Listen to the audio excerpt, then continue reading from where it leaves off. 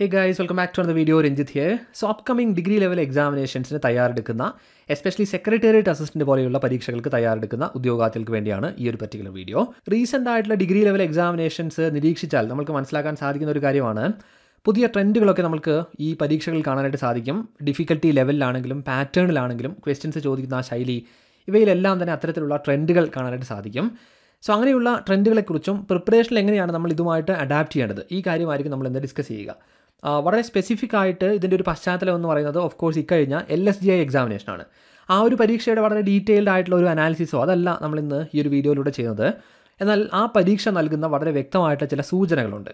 അത് തീർച്ചയായിട്ടും നമ്മൾക്ക് അപ്കമിംഗ് ആയിട്ടുള്ള എക്സാമിനേഷൻസ് അല്ലെങ്കിൽ പ്രത്യേകിച്ച് സെക്രട്ടേറിയറ്റ് അസിസ്റ്റന്റ് എക്സാമിനേഷനിലൊക്കെ പ്രതീക്ഷിക്കാം. സോ അത്തരത്തിലുള്ള സൂചനകൾ തിരിച്ചറിയുക പ്രിപ്പറേഷനിൽ അതിനനുസരിച്ചുള്ള മാറ്റങ്ങൾ കൊണ്ടുവരിക എന്നുള്ളത് ഇപ്പോൾ തന്നെ ചെയ്യേണ്ട അല്ലെങ്കിൽ നമ്മൾ മുൻകൂട്ടി കണ്ട് അത്തരത്തിൽ പഠനത്തിൽ ചെയ്യേണ്ട ഒരു കാര്യമാണ്. സോ അങ്ങനെയുള്ള കാര്യങ്ങളായിരിക്കും നമ്മൾ ഇന്ന് ഡിസ്കസ് ചെയ്യുക. സോ ഈ എക്സാമിനേഷൻസിന് തയ്യാറെടുക്കുന്ന ഉദ്യോഗാർത്ഥികൾ തീർച്ചയായിട്ടും ഈ ഒരു വീഡിയോ മുഴുവനായിട്ടും കാണുന്നതിന് വേണ്ടി ശ്രമിക്കുക. Anyway without for the delay let's get started so ആദ്യമായിട്ട് നമുക്ക് ഈ ഒരു ഷിഫ്റ്റ് എന്താണ്? എക്സാമിനേഷന്റെ ഈ ശൈലിയിലും ഡിഫിക്കൽട്ടി ലെവലിലും ഒക്കെ വരുന്ന ഷിഫ്റ്റ് എന്താണ് എന്നൊന്ന് മനസ്സിലാക്കേണ്ടതുണ്ട്. അതിൽ ഇക്കഴിഞ്ഞ ഈ ഒരു എൽ എസ് ജി ഐ പരീക്ഷ നമ്മൾ നോക്കിയാൽ നമുക്ക് വളരെ വ്യക്തമായിട്ട് മനസ്സിലാക്കാൻ സാധിക്കുന്ന ഒരു കാര്യമാണ്. ഇൻക്രീസിങ് ഫോക്കസ് ഓൺ കോൺസെപ്റ്റ്സ് എന്നുള്ളൊരു കാര്യം. ഇത് ഈ ഒരു പരീക്ഷയിൽ മാത്രമല്ല ഇപ്പോൾ ഇക്കഴിഞ്ഞ പല ഡിഗ്രി ലെവൽ എക്സാമിനേഷൻസിലും നമുക്ക് കാണാൻ സാധിക്കുന്ന ഒരു കാര്യമാണ് കോൺസെപ്റ്റിലായിട്ടുള്ള ചോദ്യങ്ങൾ കൂടുതലായിട്ട് ഉൾപ്പെടുത്തുന്നു എന്നുള്ളത്. എന്നാൽ അത് വളരെ വിസിബിളായിട്ട് നമുക്ക് കാണാൻ സാധിച്ച ഒരു പരീക്ഷയാണ് ഇക്കഴിഞ്ഞ എൽ എസ് ജി ഐ പരീക്ഷ. പ്രത്യേകിച്ച് മെയിൻ പരീക്ഷയുടെ രണ്ടാമത്തെ പേപ്പർ സോ ഈ കോൺസെപ്റ്റ് ബേസ്ഡ് ആയിട്ടുള്ള ചോദ്യങ്ങൾ എന്ന് പറയുമ്പോൾ ഒരിക്കലും നിങ്ങൾ തെറ്റിദ്ധരിക്കരുത്. പ്രസ്താവന രീതിയിലുള്ള ചോദ്യങ്ങളുടെ എണ്ണം കൂടുക എന്നുള്ളതല്ല.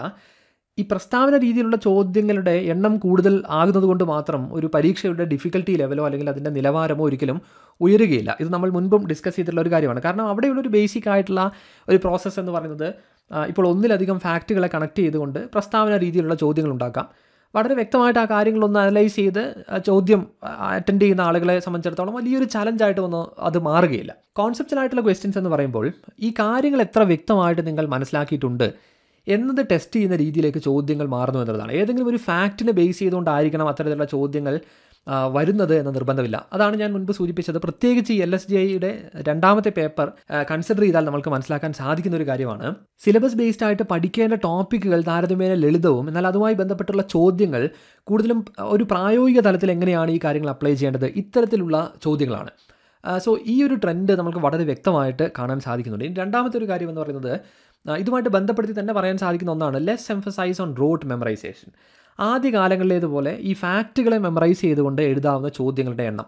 അത് വളരെ കൺസിസ്റ്റന്റ് ആയിട്ട് പി എസ് സി കുറച്ച് വരുന്നതായിട്ട് നമുക്ക് കാണാൻ സാധിക്കും. സി ഇതിന്റെ അർത്ഥം ഇങ്ങനെ ഡയറക്റ്റ് ആയിട്ടുള്ള അല്ലെങ്കിൽ മെമ്മറൈസ് ചെയ്ത് എഴുതാൻ സാധിക്കുന്ന ഫാക്ച്വൽ ആയിട്ടുള്ള ക്വസ്റ്റ്യൻസ് പാടെ ഒഴിവായി എന്നുള്ളതല്ല. തീർച്ചയായിട്ടും അത്തരത്തിലുള്ള ചോദ്യങ്ങളും വരുന്നുണ്ട്. എന്നാൽ അതിന്റെ എണ്ണം വളരെ കൺസിസ്റ്റന്റ് ആയിട്ട് കുറഞ്ഞു വരുന്നു എന്നുള്ളത് നമുക്ക് കാണാൻ സാധിക്കുന്ന ഒരു കാര്യമാണ്. ഇനി മൂന്നാമത്തെ പോയിന്റ് എന്ന് പറയുന്നത് higher level of analytical questions ഇത് ഞാൻ മുൻപ് സൂചിപ്പിച്ചതുപോലെ തന്നെ ഈ പ്രസ്താവന രീതിയിലുള്ള ചോദ്യങ്ങൾ തന്നെ പല രീതിയിൽ പി എസ് സിക്ക് ഫ്രെയിം ചെയ്യാനായിട്ട് സാധിക്കും. അതായത് വളരെ ഈസി ആയിട്ട് മൾട്ടിപ്പിൾ ആയിട്ടുള്ള ഫാക്റ്റുകളെ കണക്ട് ചെയ്തുകൊണ്ട് മൾട്ടി സ്റ്റെപ്പ് എന്ന് നമുക്ക് വേണമെങ്കിൽ പറയാം. അങ്ങനെയുള്ള കാര്യങ്ങളെ കണക്ട് ചെയ്തുകൊണ്ട് ചോദ്യങ്ങൾ ഫ്രെയിം ചെയ്യുന്നു. ഒരല്പം ടൈം കൺസ്യൂമിംഗ് ആയിട്ട് ആ ചോദ്യങ്ങൾ മാറും അല്ലെങ്കിൽ ഒരല്പം അനാലിറ്റിക്കൽ സ്കിൽസ് വേണം എന്നുള്ളത് ഒഴിച്ചു നിർത്തിയാൽ അവിടെ വലിയൊരു ചലഞ്ച് ഒന്നും നമുക്ക് പറയാൻ സാധിക്കില്ല എന്നാൽ ഈ കോൺസെപ്റ്റുകളെ ബന്ധപ്പെടുത്തി അത് തന്നെ പ്രസ്താവന രീതിയിലേക്കാക്കുന്നു. ഇങ്ങനെ ഇതിന്റെ ഒരു ലെവൽ വർദ്ധിപ്പിക്കുന്നു എന്നുള്ളതാണ്. ഈ അനലിറ്റിക്കൽ ക്വസ്റ്റ്യൻസിന്റെ ക്വാളിറ്റിയിൽ തന്നെ വലിയ മാറ്റങ്ങൾ കൊണ്ടുവരുന്നതിനായിട്ട് കൊണ്ടുവരാനായിട്ട് പി എസ് സി ശ്രമിക്കുന്നുണ്ട് എന്നുള്ളതാണ്.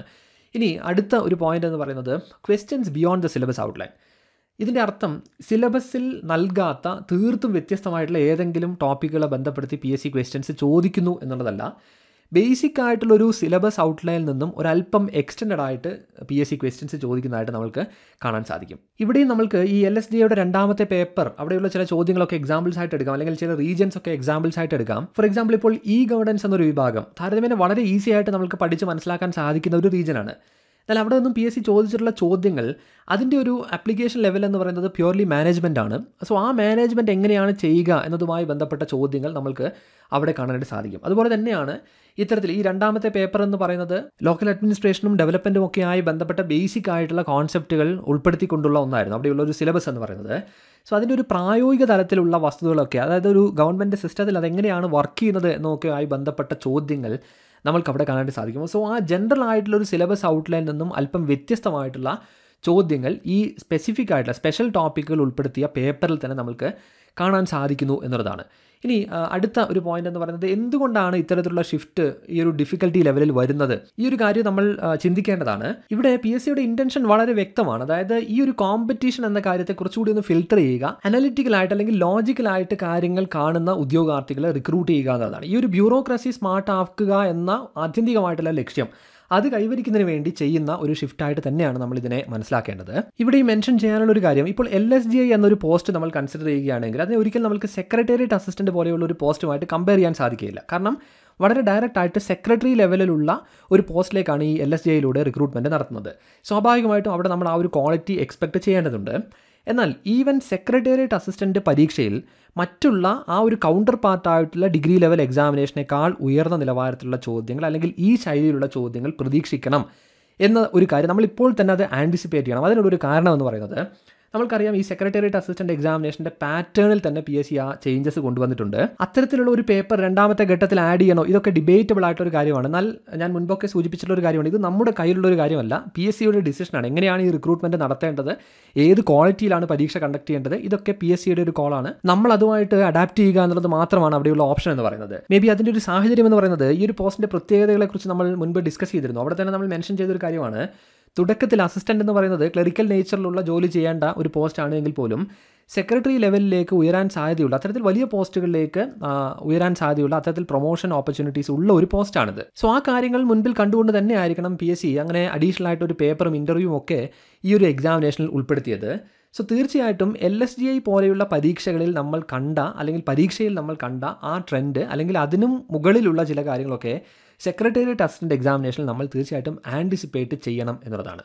സോ ഇതാണ് ഈ ഷിഫ്റ്റ് എന്ന രീതിയിൽ നമുക്ക് കാണാൻ സാധിക്കുന്ന കാര്യങ്ങൾ. ഇനി ഇതുമായിട്ട് നമ്മൾ എങ്ങനെ അഡാപ്റ്റ് ചെയ്യും എന്നുള്ളതാണ്. അല്ലെങ്കിൽ ഈ ചലഞ്ചസിനെ എങ്ങനെയാണ് നമ്മൾ ഓവർകം ചെയ്യേണ്ടത് എന്നതിനെക്കുറിച്ചാണ്.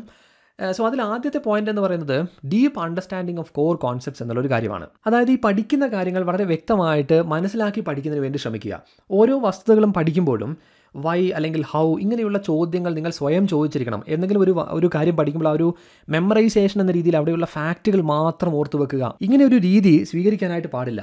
സി ഇവിടെ ഒരു കൺഫ്യൂഷൻ വരരുത്. അതായത് ഇപ്പോൾ കോൺസെപ്റ്റുകൾ ഓർത്തു വെക്കുക എന്നത് ഒരിക്കലും ഇപ്പോൾ ജനറൽ സയൻസുമായി ബന്ധപ്പെട്ടോ അല്ലെങ്കിൽ ഇപ്പോൾ ബേസിക് അരിത്തമെറ്റിക്കുമായി ബന്ധപ്പെട്ടോ ഒന്നും മാത്രം ചെയ്യേണ്ട ഒരു കാര്യമല്ല. നമ്മൾ പൊതുവിൽ അത്തരത്തിൽ കോൺസെപ്റ്റലായിട്ടുള്ള ചോദ്യങ്ങൾ പ്രതീക്ഷിക്കാത്ത റീജിയൻസിൽ പോലും അത്തരത്തിലുള്ള ക്വസ്റ്റ്യൻസ് നമുക്ക് എക്സ്പെക്റ്റ് ചെയ്യാം എന്നുള്ളതാണ്. ഫോർ എക്സാമ്പിൾ ഇപ്പോൾ ജെൻഡർ ഈക്വാലിറ്റിയുമായി ബന്ധപ്പെട്ട കാര്യങ്ങൾ. ഇതിനെ ബേസ് ചെയ്തുകൊണ്ട് ഇപ്പോൾ എൽ എസ് ജിയുടെ രണ്ടാമത്തെ പേപ്പറിൽ വന്നിട്ടുള്ള ഒരു ചോദ്യം. പ്രാക്ടിക്കലി അതിന്റെ ഒരു അപ്ലിക്കേഷൻ ലെവൽ ക്വസ്റ്റ്യൻ എന്ന രീതിയിലാണ് ആ ഒരു ചോദ്യം ഫ്രെയിം ചെയ്തിട്ടുള്ളത്. ഓർത്ത് നോക്കുക ഇപ്പോൾ ജെൻഡർ ഈക്വാലിറ്റിയുമായി ബന്ധപ്പെട്ടോ അല്ലെങ്കിൽ സ്ത്രീ സുരക്ഷയുമായി ബന്ധപ്പെട്ടോ നമുക്ക് പഠിക്കേണ്ട കാര്യങ്ങൾ തീർത്തും ഫാക്ച്വൽ ആയിരിക്കും. അതിൽ ഒരുപാട് കോംപ്ലിക്കേറ്റഡ് ആയിട്ടുള്ള കാര്യങ്ങൾ ഒന്നും തന്നെ ഉണ്ടാവുകയില്ല. എന്നാൽ ആ ഒരു അണ്ടർസ്റ്റാൻഡിങ്ങിന്റെ ബേസിസിൽ പി എസ് സി ഫ്രെയിം ചെയ്യുന്ന ചോദ്യങ്ങൾ അതിന്റെ ഒരു പ്രാക്ടിക്കൽ ലെവലായിരിക്കും സോ നമ്മൾ മനസ്സിലാക്കേണ്ടതായിട്ടൊരു കാര്യം ഇത്തരത്തിൽ ഈ പഠിക്കുന്ന കാര്യങ്ങൾ അത് ഏത് വിഭാഗമാണ് എങ്കിലും അത് പരമാവധി മനസ്സിലാക്കി പഠിക്കുന്നതിന് വേണ്ടി ശ്രമിക്കുക എന്നുള്ളതാണ്. ഇനി രണ്ടാമത്തെ പോയിന്റ് എന്ന് പറയുന്നത് ഡെവലപ്പ് അനലിറ്റിക്കൽ സ്കിൽസ് ഇത് പലതവണ നമ്മൾ മെൻഷൻ ചെയ്തിട്ടുള്ള ഒരു കാര്യമാണ്. ഇതിന്റെ ഒരു ലെവൽ എങ്ങനെയാണ് ഉയർന്നു വരുന്നത് എന്നതിനെക്കുറിച്ച് നമ്മൾ ഡിസ്കസ് ചെയ്തു. അനലിറ്റിക്കൽ സ്കിൽസ് ഡെവലപ്പ് ചെയ്യാനുള്ള ഒരു മാർഗം എന്ന് പറയുന്നത് ഞാൻ ഈ മുൻപ് പറഞ്ഞതുപോലെ തന്നെ ഓരോ വസ്തുതകൾ പഠിക്കുമ്പോഴും അത് വളരെ ക്രിട്ടിക്കലായി തിങ്ക് ചെയ്തുകൊണ്ട് അത്തരത്തിൽ പഠിക്കുന്നതിന് വേണ്ടി ശ്രമിക്കുക. ഹയർ ലെവൽ ക്വസ്റ്റ്യൻസ് അനലിറ്റിക്കൽ ആയിട്ടുള്ള ക്വസ്റ്റ്യൻസ് ഉള്ള ചോദ്യ പേപ്പറുകൾ ഡൈവേഴ്സിറ്റി ഉള്ള ക്വസ്റ്റ്യൻ പേപ്പേഴ്സ് ഒക്കെ സോൾവ് ചെയ്യുക എന്നുള്ളതാണ്. ഇനി മൂന്നാമത്തെ പോയിന്റ് ആണ് taking advantage of sure shots ഇത് വളരെ അതായത് ഏറ്റവും അധികം ശ്രദ്ധിക്കേണ്ട ഒരു കാര്യമാണ്. ഇങ്ങനെ ഈ പരീക്ഷകളിൽ അതിന്റെ നിലവാരത്തിലും ഡിഫിക്കൽട്ടി ലെവലിലും ഒക്കെ ഉയർച്ച വരുമ്പോൾ ഉദ്യോഗാർത്ഥികൾ സ്വാഭാവികമായിട്ട് ചെയ്യാൻ സാധ്യതയുള്ളൊരു മിസ്റ്റേക്ക് ഈസി ആയിട്ടുള്ള റീജൻസ് അല്ലെങ്കിൽ ഈസി ആയിട്ട് നമ്മൾക്ക് മാർക്സ് സ്കോർ ചെയ്യാൻ സാധിക്കുന്ന റീജിയൻസിനെ അവഗണിക്കും. അല്ലെങ്കിൽ അത് വളരെ കോംപ്ലേസന്റ് ആയിട്ട് അത്തരത്തിലുള്ള റീജിയൻസിനെ സമീപിക്കും. ഒരിക്കലും അത് ചെയ്യാനായിട്ട് പാടില്ല. ഇങ്ങനെയുള്ള ഏത് ചോദ്യ പേപ്പർ എടുത്താലും അവിടെയും നിങ്ങൾക്ക് കാണാൻ സാധിക്കുന്ന ഒരു കാര്യം നമ്മൾക്ക് വളരെ ഈസി ആയിട്ട് സ്കോർ ചെയ്യാൻ സാധിക്കുന്ന വിഭാഗങ്ങളും അവിടെ ഉണ്ട് എന്നുള്ളതാണ്. അതിൽ ഒന്നാമത്തേത് ഇപ്പോൾ basic arithmetic region general English Malayalam പോലെയുള്ള വിഭാഗങ്ങളിൽ പി എസ് സിക്ക് കൊണ്ടുവരാവുന്ന ചലഞ്ചസിന് ഒരു ലിം ഒരു ലിമിറ്റുണ്ട് സോ അവിടെ നിങ്ങൾ വളരെ നല്ല രീതിയിൽ പ്രിപ്പറേഷൻസ് ചെയ്തിട്ടുണ്ട് എങ്കിൽ അതിന്റെ ഒരു അഡ്വാന്റേജ് നിങ്ങൾക്ക് നേടിയെടുക്കാനായിട്ട് സാധിക്കും. അവിടെ ഒരു മിസ്റ്റേക്ക് നിങ്ങൾക്ക് അല്ലെങ്കിൽ അത് അതായത് സില്ലി മിസ്റ്റേക്സോ അല്ലെങ്കിൽ അത്തരത്തിൽ ഈസി ആയിട്ട് സ്കോർ ചെയ്യാൻ സാധിക്കുന്ന ചോദ്യങ്ങൾ തെറ്റിക്കുന്ന അങ്ങനെയുള്ള ഒരു മിസ്റ്റേക്കും അഫോർഡ് ചെയ്യാനായിട്ട് സാധിക്കില്ല എന്നുള്ളതാണ്. ഇനി ഇത് ഈ ഒരു റീജിയൻ മാത്രം വരുന്ന ഒരു കാര്യമല്ല. ഇപ്പോൾ എൽ എസ് ജിയുടെ രണ്ടാമത്തെ പേപ്പറിൽ പോളിറ്റിയിൽ നിന്നും ചോദിച്ചിട്ടുള്ള ചോദ്യങ്ങൾ അല്ലെങ്കിൽ കോൺസ്റ്റിറ്റ്യൂഷനുമായി ബന്ധപ്പെട്ടും ഹിസ്റ്ററിയും ഒക്കെ ആയി ബന്ധപ്പെട്ട് കണക്ട് ചെയ്ത് ചോദിച്ചിട്ടുള്ള ചോദ്യങ്ങൾ താരതമ്യേന വളരെ ലളിതമായിരുന്നു. പതിനഞ്ച് മാർക്സിന്റെ ഒരു ഷെയറും ആ ഒരു വിഭാഗത്തിനുണ്ട്. സോ അങ്ങനെ നമ്മൾക്ക് പഠിക്കാൻ സാധിക്കുന്ന ഷുവർ ഷോട്ട്സ് എന്ന രീതിയിൽ സ്കോർ ചെയ്യാൻ സാധിക്കുന്ന വിഭാഗങ്ങൾ ഒരിക്കലും അവഗണിക്കാനായിട്ട് പാടില്ല. അത് വളരെ വ്യക്തമായിട്ട് പഠിച്ചിരിക്കണം. ഇനി അടുത്ത ഒരു പോയിന്റ് എന്ന് പറയുന്നത് having an effective study plan and resources എന്നുള്ളൊരു കാര്യമാണ്. അതായത് വളരെ വ്യക്തമായിട്ട് എക്സാമിനേഷന്റെ പ്രിപ്പറേഷനുമായി ബന്ധപ്പെട്ട് അതിന്റെ റിവിഷൻ പ്രാക്ടീസ് ഇതെല്ലാം ഉൾക്കൊള്ളിച്ചുകൊണ്ടുള്ള ഒരു സ്റ്റഡി പ്ലാൻ നിങ്ങൾക്ക് ആവശ്യമാണ്. ആ ഒരു പ്ലാൻ ബേസ് ചെയ്തുകൊണ്ട് തന്നെ പഠനം മുന്നോട്ട് കൊണ്ടുപോവുക. അതുപോലെ തന്നെ ക്വാളിറ്റി റിസോഴ്സസ് ഉപയോഗിച്ചുകൊണ്ട് അല്ലെങ്കിൽ സ്റ്റാൻഡേർഡ് ആയിട്ടുള്ള സ്റ്റഡി മെറ്റീരിയൽസ് പഠനത്തിന് വേണ്ടി ഉപയോഗിക്കുക എന്നുള്ളതാണ്. സി ഇപ്പോഴും ചില മെറ്റീരിയൽസ് ഒക്കെ നമ്മൾക്ക് മേ ബി മലയാളത്തിൽ അവൈലബിൾ ആകണമെന്ന് നിർബന്ധമില്ല.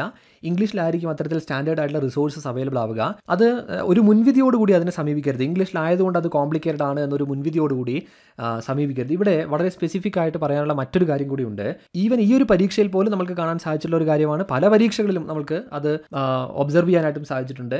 മലയാളത്തിലുള്ള ആ ട്രാൻസ്ലേഷൻ എന്ന് പറയുന്നത് വളരെ പൂറാണ് അതായത് പി എസ് സി ചില ചോദ്യങ്ങൾ മലയാളത്തിൽ ഫ്രെയിം ചെയ്തിട്ടുള്ള ഒരു രീതി എന്ന് പറയുന്നത് യഥാർത്ഥത്തിൽ അത് വായിച്ചാൽ ആ വസ്തുത എന്താണ് എന്ന് പോലും നമ്മൾക്ക് മനസ്സിലാക്കാൻ പറ്റാത്ത രീതിയിൽ മലയാളത്തിൽ വളരെ പൂർണമായിട്ടുള്ള ട്രാൻസ്ലേഷൻ വന്നിട്ടുള്ള ചോദ്യങ്ങളുണ്ട്. ഈ ഒരു കാര്യം വളരെ സ്പെസിഫിക് ആയിട്ട് നമ്മൾ ഇതുമായി ബന്ധപ്പെട്ട ഒരു വീഡിയോ പ്ലാൻ ചെയ്യുന്നുണ്ട്. അവിടെ അത് എക്സ്പ്ലെയിൻ ചെയ്യാം. എനിവേ നിങ്ങളിവിടെ ശ്രദ്ധിക്കേണ്ടതായിട്ടുള്ള ഒരു കാര്യം ഈ മെറ്റീരിയൽസിന്റെ ക്വാളിറ്റി ഉറപ്പ് വരുത്തുക നിങ്ങൾക്ക് കംഫർട്ടബിൾ ആയിട്ടുള്ള ഒരു മെറ്റീരിയൽ എടുത്ത് പഠിക്കുക എന്നുള്ളതല്ല എക്സാമിനേഷൻ ഡിമാൻഡ് ചെയ്യുന്ന ആ ഒരു ക്വാളിറ്റി എന്താണ് അതിന്റെ ലെവൽ എന്താണ് എന്ന് മനസ്സിലാക്കി അത്തരത്തിൽ സ്റ്റാൻഡേർഡ് ആയിട്ടുള്ള റിസോഴ്സസ് പിക്ക് ചെയ്യുക അതിനനുസരിച്ച് പഠനം നടത്തുക എന്നുള്ളതാണ്. ഇനി അടുത്തൊരു പോയിന്റ് എന്ന് പറയുന്നത് വളരെ ആക്റ്റീവ് ആയിട്ടുള്ള റിവിഷനും അതോടൊപ്പം തന്നെ എക്സ്റ്റൻസീവ് ആയിട്ടുള്ള പ്രാക്ടീസും ചെയ്യുക. ഈ കാര്യങ്ങൾ പഠിച്ചു പോയാൽ മാത്രം പോരാ വളരെ പീരിയോഡിക് ആയിട്ട് വളരെ സൈക്ലിക് ആയിട്ടുള്ള റിവിഷനൊക്കെ ചെയ്യേണ്ടതുണ്ട്. അതല്ലാതെ ഒരു ഒരു വൺ സ്ട്രെച്ചിൽ ഒരുപാട് കാര്യങ്ങൾ പഠിക്കുന്നു. എക്സാമിനേഷന് തൊട്ട് മുൻപുള്ള ഒരു രണ്ടാഴ്ച ഉപയോഗിച്ചുകൊണ്ട് ആ കാര്യങ്ങളെല്ലാം റിവൈസ് ചെയ്യുക. ഒരിക്കലും ആ ഒരു രീതി നിങ്ങൾ സ്വീകരിക്കാനായിട്ട് പാടില്ല. അവസാനം ഈ കാര്യങ്ങളൊന്നും ഓർമ്മയിൽ ഉണ്ടാവുകയില്ല. റിവിഷൻ എന്നുള്ളത് വളരെ പീരിയോഡിക് ആയിട്ട് ചെയ്തു പോകേണ്ട ഒരു കാര്യമാണ്. അതുപോലെ തന്നെയാണ് പ്രാക്ടീസ് എന്നുള്ളൊരു കാര്യം. സി അതായത് ഇപ്പോൾ വളരെ ഡൈവേഴ്സിറ്റി ഉള്ള ചോദ്യങ്ങൾ പ്രാക്ടീസ് ചെയ്യുന്നതിന് വേണ്ടി ശ്രമിക്കണം. അവിടെയുള്ള ഒരു സർപ്രൈസ് എലമെൻസ് ഒക്കെ കാണുമ്പോൾ ഒരിക്കലും നിങ്ങൾ ഡിസപ്പോയിന്റഡ് ആവുകയല്ല വേണ്ടത്. മറിച്ച് അത് നേരിടാൻ നിങ്ങൾ തയ്യാറാവുകയാണ്. ഇത്തരത്തിലുള്ള പ്രാക്ടീസ് ചെയ്യുന്നതിലൂടെ അത് നേരിടാൻ നിങ്ങൾ തയ്യാറാവുകയാണ് എന്നൊരു ബോധ്യം എപ്പോഴും ഉണ്ടായിരിക്കണം. സോ ഇങ്ങനെയുള്ള ഈ ട്രെൻഡുകൾ നിരീക്ഷിച്ച് അതിനനുസരിച്ച് നമ്മുടെ പ്രിപ്പറേഷനിൽ മാറ്റം വരുത്തി അത്തരത്തിലാണ് പ്രിപ്പറേഷൻ കൊണ്ടുപോകുന്നതെങ്കിൽ ട്രസ്റ്റ് മീ നിങ്ങൾക്ക് നിങ്ങൾ പ്രതീക്ഷിക്കുന്നതിനപ്പുറത്തേക്കുള്ള ഒരു അഡ്വാന്റേജ് എക്സാമിനേഷനിൽ നേടിയെടുക്കാനായിട്ട് സാധിക്കും. കാരണം ഇതിന്റെ പിന്നിലുള്ള ലോജിക് വളരെ സിമ്പിളാണ് the higher the challenge the greater the opportunity to stand out basically ഇതൊരു കോമ്പറ്റേറ്റീവ് എക്സാമിനേഷൻ ആണ്. അവിടെയുള്ള ചലഞ്ചസ് വർദ്ധിക്കുന്നതിനനുസരിച്ച് സ്റ്റാൻഡ് ഔട്ട് ചെയ്യാനുള്ള ഓപ്പർച്യൂണിറ്റിയും വർദ്ധിച്ചു വരും.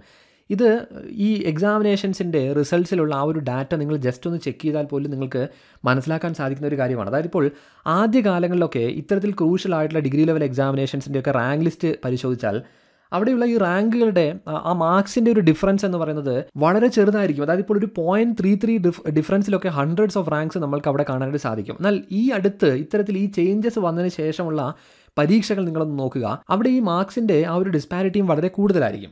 സോ ഇത് നൽകുന്ന ഒരു സൂചന എന്താണ്? അതായത് ഇത്തരത്തിൽ എക്സാമിനേഷന്റെ ക്വാളിറ്റി ഉയരുന്നതിനനുസരിച്ച് ലക്ക് എന്നുള്ളൊരു ഫാക്ടർ യഥാർത്ഥത്തിൽ കുറഞ്ഞു വരും. മറിച്ച് ഏറ്റവും കോൺസെപ്റ്റലായിട്ട് ഈ കാര്യങ്ങളെ കണ്ടുകൊണ്ട് അത്തരത്തിൽ ലോജിക്കലി പഠനം നടത്തിയിട്ടുള്ള ഉദ്യോഗാർത്ഥികൾക്ക് അർഹിച്ച ആ ഒരു അഡ്വാന്റേജ് കിട്ടുമെന്നുള്ളതാണ് ആദ്യകാലങ്ങളിൽ ഒരു വ്യത്യാസം എന്ന് പറയുന്നത് അവിടെ ലെക്ക് എന്നൊരു ഫാക്ടർ വലിയ രീതിയിൽ മാറ്റർ ചെയ്യുന്ന ഒന്ന് തന്നെയായിരുന്നു. കാരണം ഒരു മെമ്മറൈസേഷൻ ബേസ് ചെയ്തുകൊണ്ടുള്ള ഒരു പരീക്ഷ നമ്മൾ അറ്റൻഡ് ചെയ്യുമ്പോൾ മേ ബി എക്സാമിനേഷൻ സമയത്ത് അറിയാതെ വരുന്ന ഒരു സില്ലി മിസ്റ്റേക്ക് കൊണ്ട് മേ ബി നമ്മൾ ഹൺഡ്രഡ്സ് ഓഫ് റാങ്ക്സ് പുറകിലേക്ക് പോകും.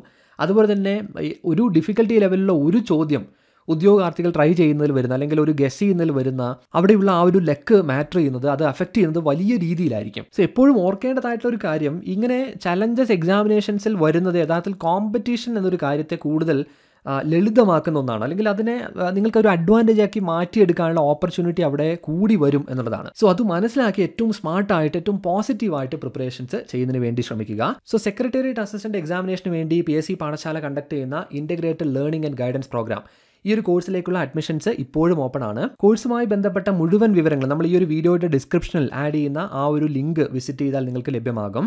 ആ ഒരു പേജിന്റെ തുടക്കത്തിൽ കോഴ്സുമായി ബന്ധപ്പെട്ട കാര്യങ്ങൾ എക്സ്പ്ലെയിൻ ചെയ്തുകൊണ്ടുള്ള ഒരു വീഡിയോ കാണാനായിട്ട് സാധിക്കും. അത് മുഴുവനായിട്ടും കാണുക. എല്ലാ കാര്യങ്ങളും നമ്മൾ അവിടെ എക്സ്പ്ലെയിൻ ചെയ്തിട്ടുണ്ട്. ഈ ഒരു ബാച്ചിൽ എക്സ്ക്ലൂസീവ് ആയിട്ടുള്ള ഒരു ഡിസ്കൗണ്ട് നമ്മൾ പ്രൊവൈഡ് ചെയ്യുന്നുണ്ട്. അത് ഇപ്പോഴും അവൈലബിൾ ആണ്. കോഴ്സുമായി ബന്ധപ്പെട്ട് കൂടുതൽ എന്തെങ്കിലും കാര്യങ്ങൾ നിങ്ങൾക്ക് അറിയണം എന്ന ആഗ്രഹമുണ്ട് ഇവിടെ നൽകിയിട്ടുള്ള ഈ ഒരു നമ്പറിലേക്ക് എസ് എ എന്ന് ടൈപ്പ് ചെയ്ത് ഒരു വാട്സ്ആപ്പ് മെസ്സേജ് അയക്കുക ഈ ഒരു പ്രോഗ്രാമുമായി ബന്ധപ്പെട്ട ഡീറ്റെയിൽസ് നിങ്ങൾക്ക് available ആവുന്നതായിരിക്കും. And please do join us on Telegram P S C പാഠശാലയുടെ Telegram channel നിങ്ങൾ ജോയിൻ ചെയ്തിട്ടില്ല എങ്കിൽ ടെലിഗ്രാം ആപ്ലിക്കേഷനിലുള്ള സെർച്ച് ഓപ്ഷനിൽ പി എസ് സി പാഠശാല എന്ന് സെർച്ച് ചെയ്ത് ലഭ്യമാവുന്ന ആ ഒരു പബ്ലിക് ചാനലിൽ ജോയിൻ ചെയ്യുക. ഏറ്റവും ലേറ്റസ്റ്റ് ആയിട്ടുള്ള അപ്ഡേറ്റുകൾ എസെൻഷ്യൽ ആയിട്ടുള്ള മെറ്റീരിയൽസ് ഇതായിരിക്കും നമ്മൾ ചാനൽ വഴി പ്രൊവൈഡ് ചെയ്യുക. ഒരിക്കലും റാൻഡം ആയിട്ടുള്ള ഒരുപാട് ക്വസ്റ്റ്യൻസോ അല്ലെങ്കിൽ അത്തരത്തിലുള്ള ഇൻഫർമേഷൻ ഒന്നും നമ്മൾ അവിടെ പ്രൊവൈഡ് ചെയ്തില്ല. ഏറ്റവും എസെൻഷ്യൽ ആയിട്ടുള്ള കാര്യങ്ങളായിരിക്കും പ്രൊവൈഡ് ചെയ്യുക. So do join us on Telegram so ഞാൻ ഈ ഒരു വീഡിയോയുടെ തുടക്കത്തിൽ സൂചിപ്പിച്ചതുപോലെ തന്നെ നമ്മളിങ്ങനെ എക്സാമിനേഷൻസിലൊക്കെ വരുന്ന ട്രെൻഡ് ട്രെൻഡുകളൊക്കെ മനസ്സിലാക്കേണ്ടത് അതെല്ലാ കാര്യങ്ങളും ഓരോ ഘട്ടത്തിലും മുൻകൂട്ടി മനസ്സിലാക്കി അത്തരത്തിൽ പ്രിപ്പറേഷനിൽ മാറ്റങ്ങൾ കൊണ്ടുവരണം എന്നുള്ളതാണ്. ഒരിക്കലും എക്സാമിനേഷൻ സമയത്ത് ഇത് സർപ്രൈസിംഗ് ആയിട്ട് മാറാൻ പാടില്ല. അതായത് പ്രതീക്ഷിച്ചത് മറ്റൊരു രീതിയിലുള്ള ചോദ്യങ്ങളായിരുന്നു. എന്നാൽ വലിയ ഡിഫിക്കൽട്ടി ലെവലിലാണ് ക്വസ്റ്റ്യൻസ് വന്നത്. ഇങ്ങനെ ഒരു കംപ്ലയിന്റ് പല ഘട്ടത്തിലും വരും. അതിനുള്ള ഒരു പ്രധാന കാരണം എന്ന് പറയുന്നത് ഇങ്ങനെ പരീക്ഷകളിൽ വരുന്ന ട്രെൻഡുകളൊന്നും അപ്ഡേറ്റ് ചെയ്യാതെ ഒരു പ്രിപ്പറേഷനിൽ മാത്രം ശ്രദ്ധിച്ച് വളരെ കൺവെൻഷണൽ ആയിട്ട് പ്രിപ്പറേഷൻസ് ചെയ്ത് മുന്നോട്ട് പോകുന്നു എന്നതുകൊണ്ടാണ്. ഓക്കെ?